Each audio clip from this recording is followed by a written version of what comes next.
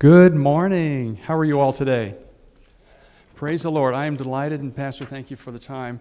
Delighted to have a moment with you uh, to talk about an event that you're going to do. I have an opportunity to experience here in just a few minutes. Uh, diaconal survey ministry tour. Kind of, what is in the world does that mean? But I'm really grateful to stand here on behalf of Tony and Roy and myself as deacons uh, in this wonderful body to, um, uh, to really thank you for being a body with servant hearts. Um, it shows in so many ways. Uh, I'll just, I just want to highlight real quickly the thought that um, I see you serving each other uh, all the time, and it really blesses my heart. Even rallying around family needs um, and just so many things that you do. Uh, I'm grateful for this church. This church supports a ministry that I am so blessed to be a part of. It's called Hope Rising, it's a pregnancy resource center and this church supports that, and I'm very grateful for that. Um, and I want to just give you a quick highlight on something. We have our Walk for Life coming up on April 27th, and if anybody would like to do something really fun called a Walk for Life, just let me know. I'm going to be doing it, and I'll, I'll be um, uh, looking forward to that. But if you'd like to do that too, it's an amazing time, and uh, it'll be at Huber Heights First Baptist Church. But that's an amazing thing, and I'm grateful for a church that believes in life and, uh, and advocating for us. So praise the Lord. Um, I also want to let you know real quickly about uh, something called uh, really a, Miami Valley Deacons Network, if you will. And what we've done is we've kind of partnered with the five uh, area OPC churches to kind of the deacons to kind of be aware of each other, aware of each other's needs, and really collaborate should a need, a great need, arise that we can help each other with. And that's an amazing thing. And so God has made a pathway for that. Our pastors have supported and advocated for that as well. And so that's in the background of a lot of things that might be happening. So, disaster preparedness, there's any number of topics. Uh, even with the Doleys family recently having the, their house fire, um, we were chatting amongst each other about ways we could support, you know, the Doleys families and so forth. So, praise the Lord for those kinds of initiatives, and I'm thankful to be a part of it. This, and also, I want to just quickly give you an encouragement too. Our culture presents so many negatives, and I'm so grateful. Aren't you grateful for a church that really teaches the Word of God in a way that we can deal with the culture in a positive way and reflect the love of Jesus and keep to the Word of truth and live that out? Praise the Lord. Uh, I'm delighted to walk in and hear Pastor teaching on, on those very kinds of things. So, glory to God. But our culture is in a really tough spot. Sometimes it can be discouraging looking out upon it. But I just want you to know, I believe with all my heart, God's kingdom is always advancing. And I see that all the time uh, in, our, in our little center called Hope Rising. We have four locations. We have a salvation bell. And as we say, we share the gospel with every program, many times too with people who just simply come in, you know, for an appointment to where they just want a pregnancy test. A guy comes along, we'll share the gospel there too many times as well, but definitely in a program but that bell rings. And what that bell ringing means is that someone at that moment has, uh, has declared Jesus Christ as their Lord and Savior, and they want their life to be turned around for Him. So, glory to God. The kingdom is always advancing, and I love to hear the bell ringing. And I want you to know that that's what I get the privilege to do at Hope Rising, and I'm so grateful for this body support. So now let's change channels for a second and talk about this diaconal survey tour that I've been talking about. I meant to bring a copy of it, but but I, uh, I've got them downstairs. But I'll just hold up kind of a notional sense of many of you took a survey. Oh, some of you a year ago, some of you almost two years ago. And you identified skill areas that you might be willing to share with, with people within our body. You identified ministry interests as well, things like supporting disaster preparedness or um, helping stressed families in our community, various things. You had opportunity to identify things on that survey. Uh, not all of you have taken it, many of you have. And what's going to happen this morning is an opportunity for those of you who, uh, who have identified particular skill areas to uh, reflect and represent those skills, and for the rest of us to go down and see what God is doing in our midst. What skill areas are being represented? Who has those skills and is willing to share? And for, in a sense, we did that from a, how can we serve each other within the body and help each other with our, with our need areas? But I will also tell you that we're, we're looking outward to the community too, because as we are settled and as our needs are being met, wouldn't it be great to look outward to our community as well and serve in some of these very same areas? So that's the, that's the vision going forward. But for today, you're going to have an opportunity to go down and see who represents very skill areas. I'm going to just let, uh, I think Pastor's going to pray here in a second, but for those who are part of the ministry tour, we're going to be down there behind a skill area. You can go ahead and leave right now if you'd like to make your way down to a table. And you're going to see a few people moving, and uh, that's a grand thing. So you're going to want to go down and see what these people are up to and talk with them about, uh, about their particular interest area of serving.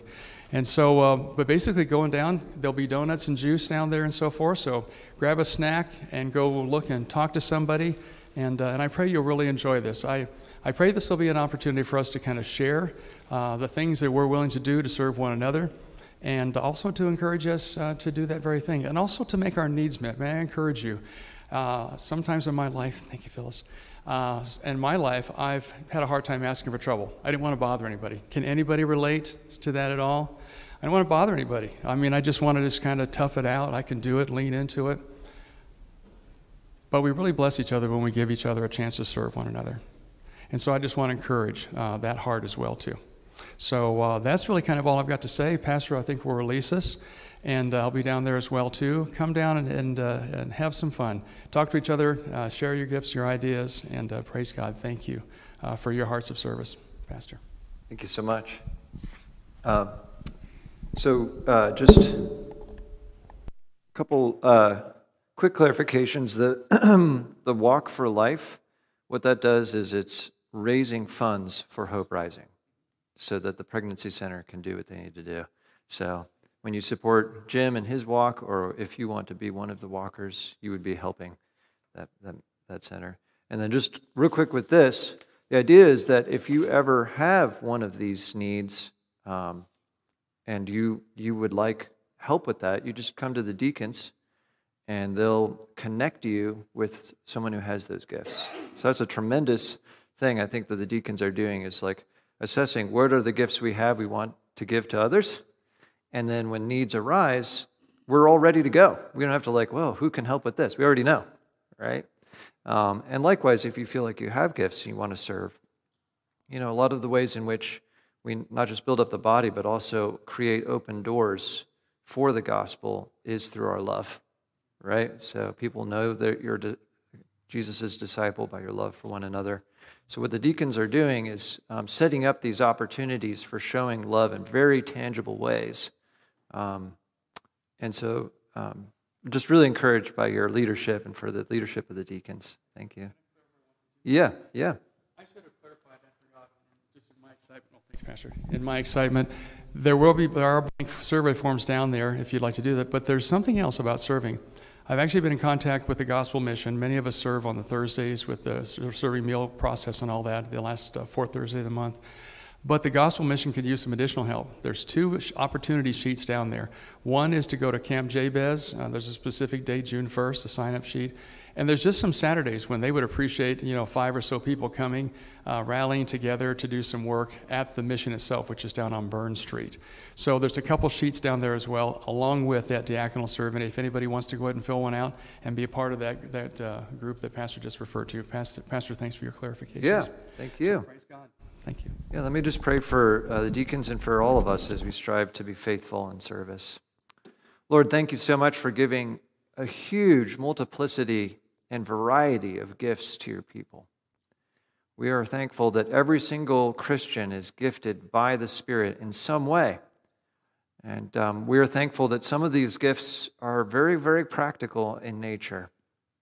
And we thank you, Lord, that we can now offer these gifts to you um, for the needs of the body and also um, for the good of our community. And we pray that as we love one another and as we love those in our community, that it would create open doors for the Word of God.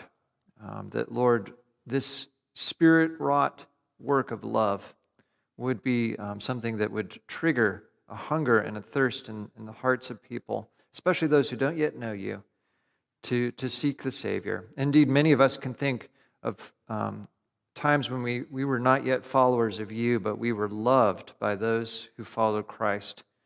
Um, and we, we can think about how that softened our hearts. And we pray that that would be true through our ministry here in this church. We also pray, Father, that you drive away from us all um, self sufficiency and um, desire to be independent from others and not wanting in our pride to trouble other people. Um, Lord, help us to be humble and to be willing to admit when we do need help and to give our brothers and sisters the opportunities to serve us. Uh, for Lord, we know that at the heart of the gospel is a confession that we need help. And Lord, we want to we want to go to you with our need for salvation, but we also want to recognize that you bless us um, in our other very practical needs, often through your body. And so we pray, uh, bless the survey tour now. Thank you for all the work of the deacons to do this. Thank you for their leadership. And thank you for all those who have already stepped forward to serve. And we pray in Jesus' name. Amen. All right, you're dismissed to go downstairs for the survey tour. Thank you so much. And thank you, Jim, and all the deacons.